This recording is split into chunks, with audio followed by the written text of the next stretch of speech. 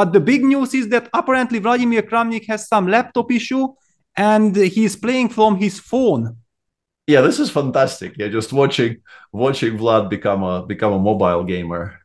Wow. You know, as a as a as a mobile gamer myself, I find it extremely funny. Uh, I'm pretty sure Vladimir spent exactly zero minutes actually playing any games on his mobile. Like I would be I would be willing to to make a reasonably substantial bet that he has zero minutes of any game on his on his mobile, apart from maybe chess. Even even chess, I don't know. Maybe today is the first day he's actually playing chess on the phone as well. Uh, so yeah, this is a good time, a good time for him to try out new things. Uh, uh, very. Uh, I mean, I'm not sure he finds it funny, but sort of, sort of funny for us.